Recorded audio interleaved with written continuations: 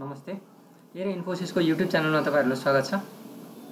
आज मैले तपाईँहरूलाई यो इलेक्सन कमिसन नेपालको एउटा सामान्य फर्मेट ल्याइदिएर आएको छु जसमा चाहिँ तपाईँले भोटर र नन भोटर पत्ता लगाउन सक्नुहुन्छ। एकदमै सजिलो छ यो। स्कुलको स्टुडेन्ट कलेजहरूको स्टुडेन्टहरूको लागि अ, स्टुडेन्टहरूको लागि अरू अरू धेरै कामहरूको लागि पनि यो युज हुनसक्छ मैले एउटा यो फर्मेट बनाइदिएको छु। यसलाई अरू अर्कै तरिकाले पनि युज गर्न सकिन्छ है। यो कुन कन्डिसनमा एप्लाई छ भने यो कस्तो कन्डिसनमा रहेर मैले यो भिडियो बनाइदिएको छु भने हेर्नुहोस् है म तपाईँलाई अहिले सुरुमा यसको कन्डिसन्स कस्तो छ भने अठार अर एबो एज छ भने अठार वर्ष र अठार वर्षभन्दा माथिको एज छ भने त्यो मान्छे चाहिँ भोटर हो। यदि अठारभन्दा तलको छ भने चाहिँ त्यो के हो त? नन भोटर हो भनेर मैले यो कन्डिसनमा यो फर्मुला एप्लाई गरेर यो फर्मेट बनाइदिएको छु है। जस्तै नेम अफ क्यान्डिडेट्सहरू छ यहाँ एड्रेस छ यहाँ जेन्डर छ एज छ सिटिजनसिप यस नो भनेर लेखिदिएको छु मैले यहाँनिर। रिजल्ट वान र रिजल्ट टू भनेर मैले यहाँ दुईवटा राखेको छु। अनि यसको मुनिपट्टि टोटल पार्टिसिपेन्ट कति छ? टोटल भोटर यहाँ कति छ? यो पार्टिसिपेन्ट भनेको र भोटर भन्ने एउटै हो है। अनि यो टोटल फिमेल कति छ यहाँ भोट दिनेमा? टोटल मेल कति छ र एभरेज एज कति छ भोटरको भोटरको एभरेज एज औसत निकालिन्छ नि। एभरेज एज कति छ भनेर मैले निकालिदिन गइरहेको छु यो। अब सुरु गरौँ सबैभन्दा पहिले।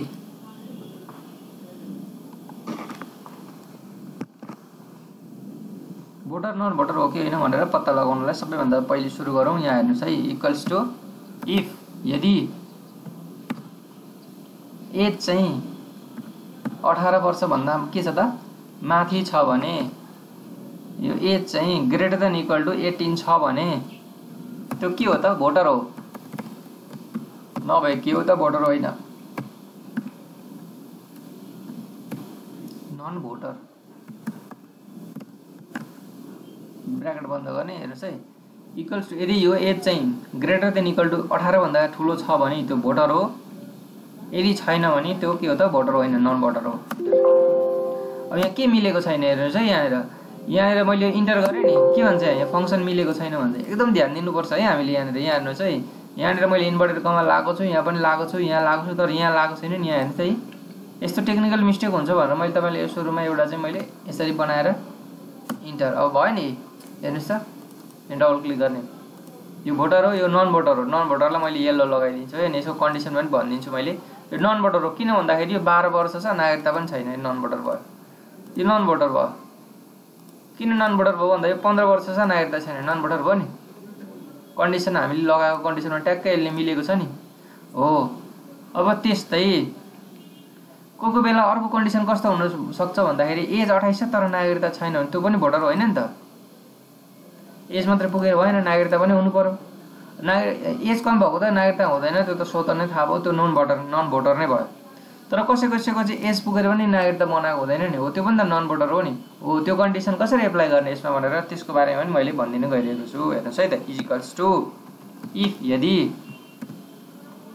दुईवटा कन्डिसन छ यहाँनिर। दुईवटा कन्डिसन भएकोले मैले यहाँ एन्डको पनि युज गरेको छु। एन्ड एज एज यहाँ एज भनेर लेख्ने होइन है। एज भनेको चाहिँ यहाँनिर यहाँ छ नि त यो एज यो चाहिँ भनेको। एज चाहिँ ग्रेटर देन इक्वल्स टु अठार छ। र सिटिजनसिप पनि यस छ भने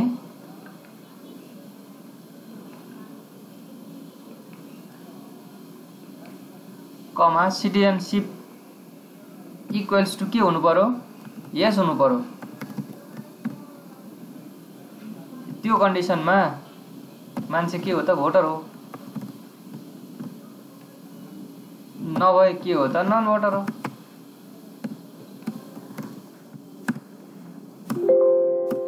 के मिलेको छैन अझ यहाँ हेर्नुहोस् त? यो नन भोटरमा फेरि त्यही कन्डिसन आएको छ। यहाँ मैले ब्राकेट खोलेको छु यहाँ पनि खोलेको यो इन्भर्टेड कमा खोलेको छु खोलेको छु यहाँ भन्छ यहाँ भन्छ यहाँ भन्छ तर यहाँ छैन नि। यहाँ पनि बन्द गर्नु पऱ्यो नि इन्भर्टेड कमा। अब मिल्छ नि त। भयो? यो भोटर भयो। हेर्नुहोस् है यहाँ यो नन भोटर भयो नि यो अघि मैले भनेको कन्डिसन ठ्याक्कै यहाँ मिल्छ। यो यो मान्छे लिजन महर्जन भन्ने छ काठमाडौँ फिमेल लिना महर्जन। काठमाडौँ फिमेल चालिस इयर्स सिटिजनसिप छैन क्या यो कन्डिसन कि हेर्नुहोस् त। उमेर पुगेर त भोटर हो। उमेरको आधारमा त भोटर हो। तर नागरिकता नभएको कारणले यहाँ नन भोटर भयो कि? अघि हामीले उमेरको आधारमा मात्रै हेर्दाखेरि त यो उमेर नपुगेको रे नन भोटर भयो। तर उमेर पुगे यो उमेर पुगेको छ नि त यहाँ। यहाँ उमेरको आधारमा हेर्दा भोटर भयो तर नागरिकता छैन नन भोटर भयो कि? त्यो कन्डिसनमा चाहिँ ल हेर्नु। यहाँ नन भोटर भयो। हो उमेरको आधारमा चाहिँ हामीले यहाँबाट हेऱ्यौँ।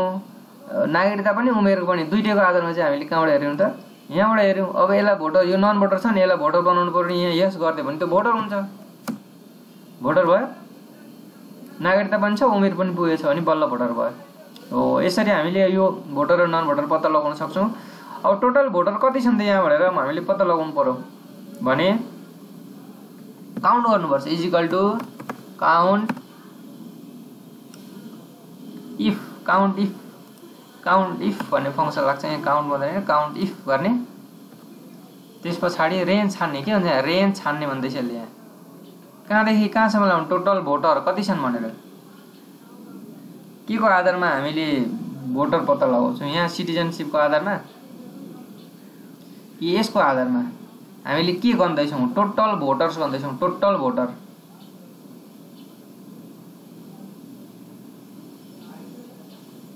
यहाँदेखि यहाँसम्म। भोटर भोटर मात्रै पत्ता लगाउनु पऱ्यो क्या हामीले?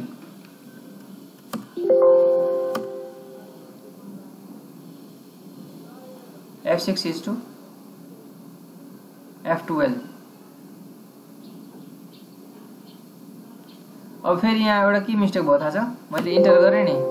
तर यसले बुझेन क्या के भन्न खोजेको? यहाँ के भनेको छ? काउन्ट इफ रेन्जमा हो रेन्ज त दिएँ तर मैले क्राइटेरिया दिइनँ क्या। के चाहियो यहाँ पछाडि अब?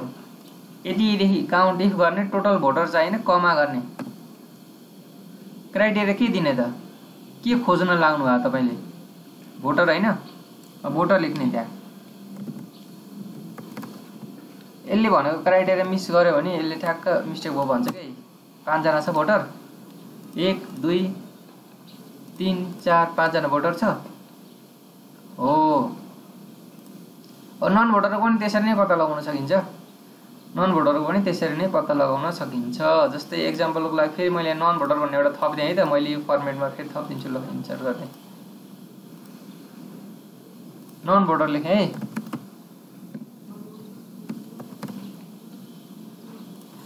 यसैलाई मैले यहाँ तल सारिदिन्छु। ए यहाँ भोटरको ठाउँमा नन भोटर लेखिदिएँ मैले।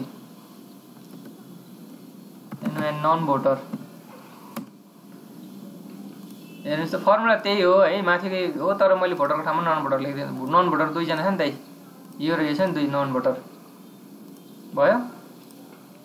भोटर पनि पत्ता लाग्यो नन भोटर पनि पत्ता लाग्यो। अब टोटल फिमेल कति छ भनेर पत्ता लगाउनु पऱ्यो इक्वल्स टु भोट दिने मध्येमा टोटल फिमेल कति छ भनेर पत्ता लगाउनु पऱ्यो equals to count if range मागेको छ। रेन्ज भनेको यहाँदेखि यहाँसम्म। अब हामीले फिमेल कति छ भनेर पत्ता लगाउँदै जेन्डरमा जानु पऱ्यो। यहाँदेखि यहाँसम्म छान्ने।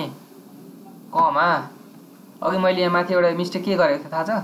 यो क्राइटेरिया दिएको थिइनँ नि मैले। अब यहाँ मैले क्राइटेरिया हाल्छु यहाँ। मिस्टेक भन्दा पनि मैले तपाईँहरूलाई त्यो कसरी हुन्छ भनेर भनिदिएको खासमा चाहिँ यहाँ क्राइटेरिया हेर्नुहोस् अब। अब हेर्नु यो क्राइटेरिया मैले त्यहाँनिर हालिनँ भने के हुन्छ? जिरो ए रिजल्ट आएन नि। यहाँ कमा यहाँ गएर के चाहिएको अरे हामीलाई? Female F E M A L E female कति फिमेल छ भनेर चाहिएको नि त? इन्टर गरेर चारजना फिमेल हो। एक दुई तिन चारजना फिमेल हो। हो। अब टोटल मेल पनि त्यसरी नै पत्ता लगाउन सकिन्छ। यसलाई मैले यसरी तल एक स्टेप यस्तो गरिदिएँ है त। अब यहाँ गएर मैले फर्मुला त्यही हो। यहाँ गएर मैले फिमेलको ठाउँमा चाहिँ के गरेँ त? मेल बनाइदिएँ है। मेल कतिजना छ त? तिनजना छ यहाँ। एक के अरे यहाँ? एक दुई तिन। भयो। तिनजना मेल भयो। हो। अलिक ठुलो बनाऊ है तपाईँहरूले देख्नु भएन भनेर मैले अलिक ठुलो बनाइदिन्छु। यसलाई ठ्याक्क मिलाइदिएँ यसलाई सेन्टरमा राख्थेँ है। अब एभरेज एज चाहियो। औसत आयु कति भएका मान्छेहरूले चाहिँ भोट दिएछन् त भनेर पत्ता लगाउनु पऱ्यो भने त्यस्तो पनि पत्ता लगाउनु पर्ने हुनसक्छ नि। हो इक्वल्स टु एभरेज गर्ने। एभरेज कतिदेखि कतिसम्म? एज यहाँ छ नि एज यो एभरेज यहाँदेखि यहाँसम्म। है? ब्राकेट बन्द गर्ने। इन्टर। एभरेज औसत आयो भनेपछि कोही अठाइसका छन् कोही अस्सीका छन् कोही चालिसका छन् यसो औसत निकाल्दाखेरि कति औसतका मान्छेले दिएछन् भने छ तेत्तिस पोइन्ट छका मान्छेले चाहिँ तेत्तिस पोइन्ट छ चाहिँ औसत आयो निक्ल्यो कि?